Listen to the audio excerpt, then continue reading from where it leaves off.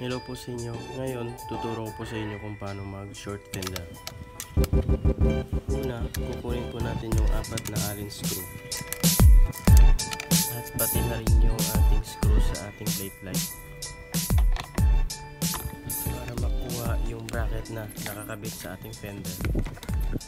Ito po. Unplug muna natin yung sa plate light.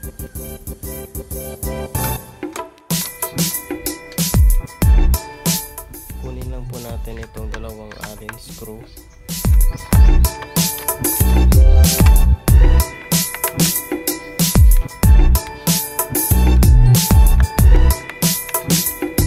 At sabay hila patras ayan. At saka kunin lang din natin itong rubber. At makikita din natin isang allen tanggalin din natin yan at dito rin sa baba.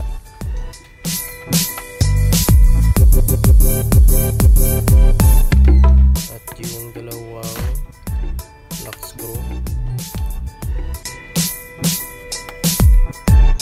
At sabay hila para makita po natin yung wire ng ating plate light ayan po kung nakikita nyo.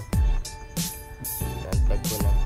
Ito sa baba tanggalin po natin ang dalawang nut at saka dalawang bolt na 10mm gamit itong socket wrench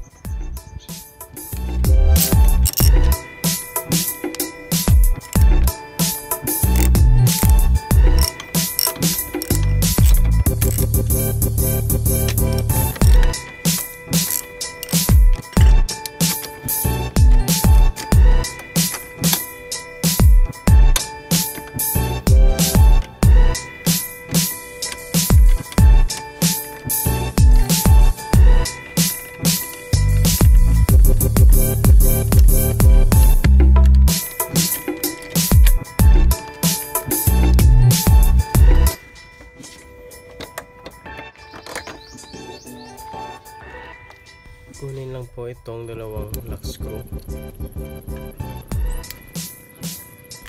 So yan naputol ko na. Hindi ko na pinakita kasi nga naputol na.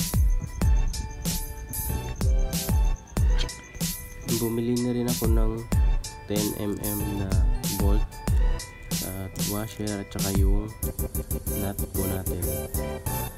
At isang 6mm na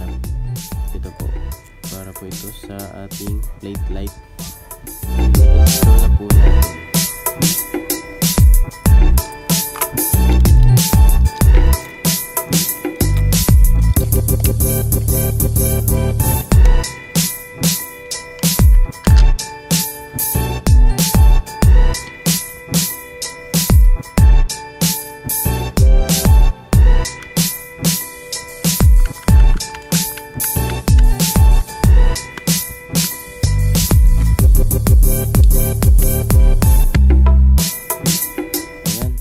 okay na.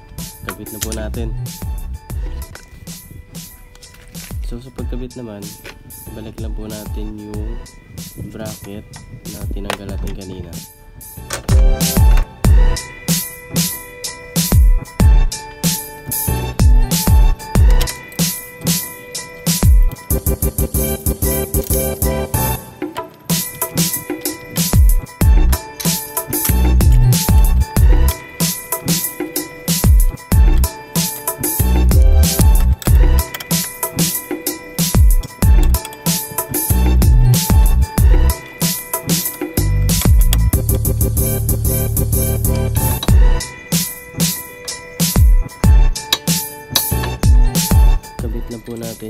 Natin yung ating fender. At sabay tulak po hanggang sa makita po natin yung ilalagyan natin ng bolt.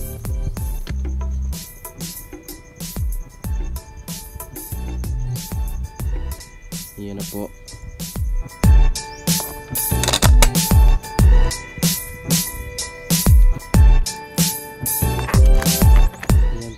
Na po natin yung ating washer at saka yung para maigpitan na po natin.